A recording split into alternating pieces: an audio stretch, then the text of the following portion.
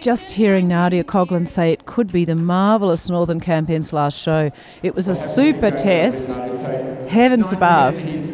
Um, I sincerely hope it's not his last test. He's in great form. He looks wonderful. Um, age is so dependent on the individual. Um, he, he's in, and a super, more or less mistake-free test. So difficult with the problems with the music.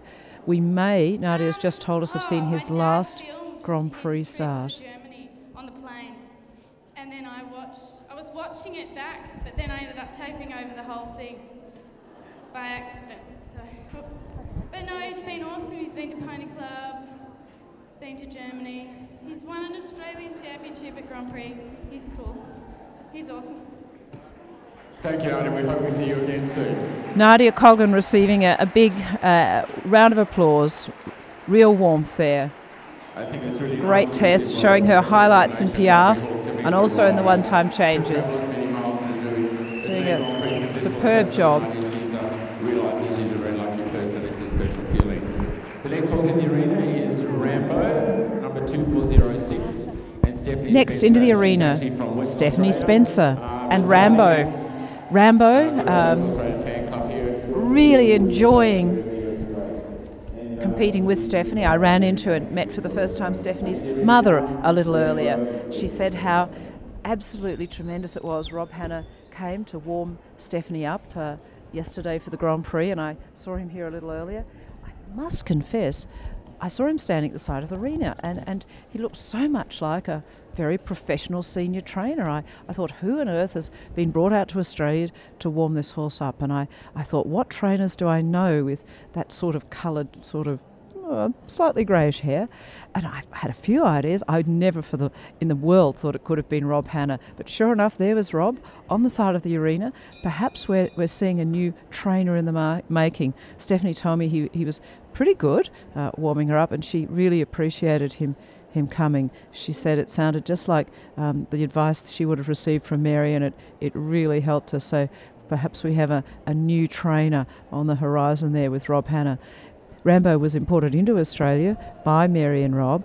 Um, Stephanie's been working at their, their farm, um, and I feel she's incredibly lucky to have this Flemmingh gelding uh, by Flemmingh out of a Highline mare. So down centre line, Rambo and Stephanie Spencer from West Australia training here in Australia. So beautifully to the music, wonderful square hold, great job. Rambo born in 98, Dutch 17 hand gelding. Nicely in the trot.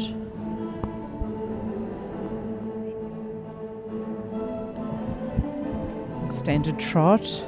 Um, and now back to the passage. Lovely passage. Rambo has a highlight in the Piaffe, but very nice passage there and very even behind. He does lower the quarters and out into the passage. Beautifully to the music.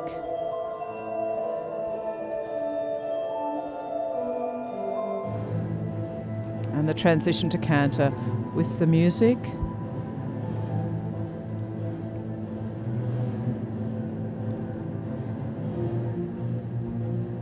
Canter half pass left.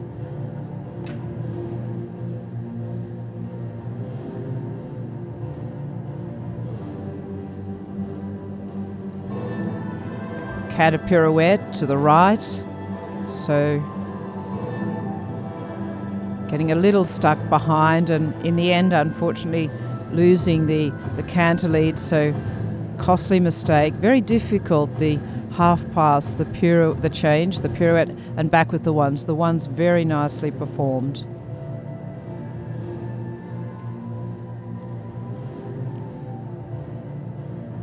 Rambo perhaps a little tight.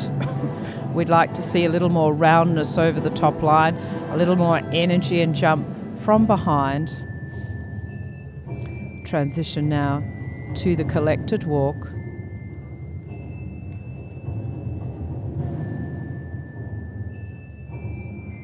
With the music, Stephanie doing a great job riding to the music. Now the extended walk.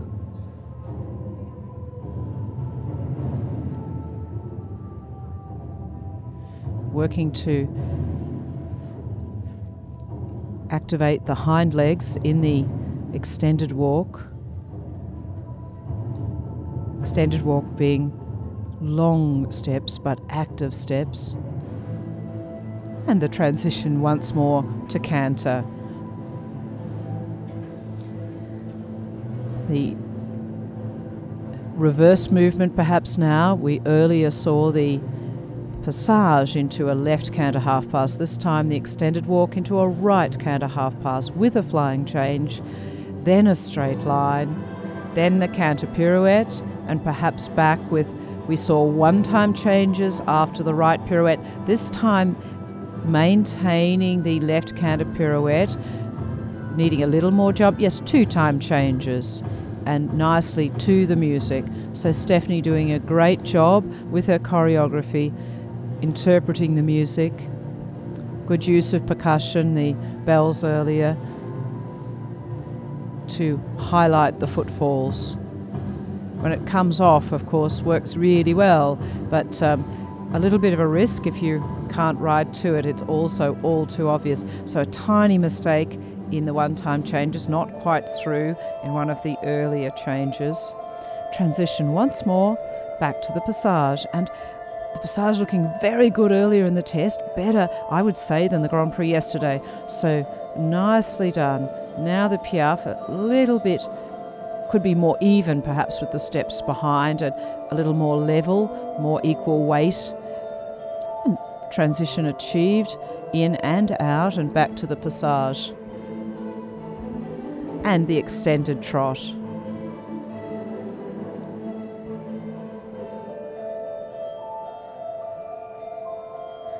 Extended trot to passage. Stephanie doing a good job utilising the strength from behind.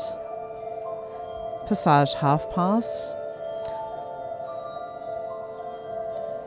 Trying to keep him fairly parallel. Ah, passage half pass to trot half pass. Passage half pass right to trot half pass left. So increasing the difficulty here with this movement. Rambo really focusing